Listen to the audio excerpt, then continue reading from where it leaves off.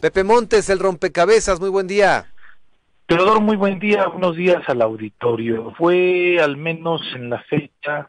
de aproximadamente el 4 de febrero del 2020 del año pasado, cuando la Comisión de Gobernación y Gran Jurado del Congreso del Estado admitió la solicitud de juicio político contra el exgobernador Graco Ramírez y dos de sus colaboradores, principalmente, bueno, Jorge Michel Luna y Adriana Flores eh, Garza, eh, Contralora en ese momento, pero eh, al menos en el señalamiento que hacían era eh, cuando ella estuvo a cargo de la Secretaría de Hacienda también que le precedió a Jorge Mitchell. Bajo el argumento de, eh, vaya, eh, de la Suprema Corte, eh, la resolución, vaya, que dio el día de ayer,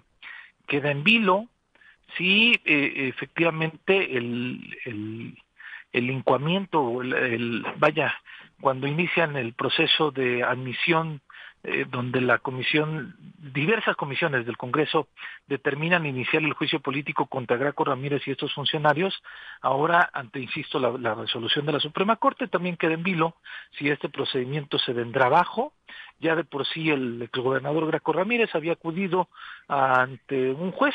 para que no iniciaran eh, o no procediera ningún ningún avance con relación a esto desde el Congreso del Estado. Ya tenía esa protección del juez y ahora bajo esta resolución me parece que aparte del nombramiento de una magistrada, Guillermina, eh, si no mal recuerdo, de la titular del ESAF,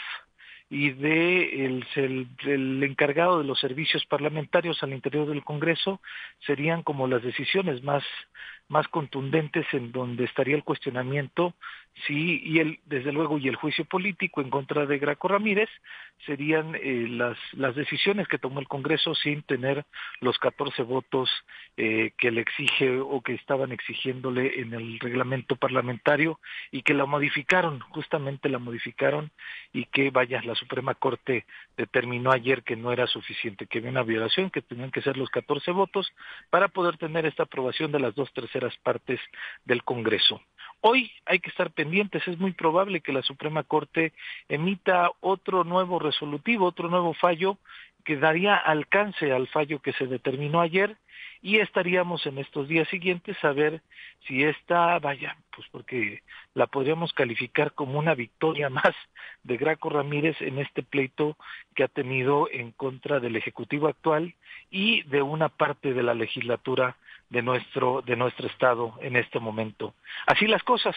un tema que teníamos mucho tiempo que estábamos esperando para saber quién tenía la razón y pues la Suprema Corte otorga la razón a quienes eh, en aquel momento y en todo este tiempo seguimos pensando que los 14 votos eran o son los que dan la mayoría calificada o la mayoría necesaria para aprobar reformas en nuestro Congreso local. Teodoro, así las cosas. Que tengamos buen día.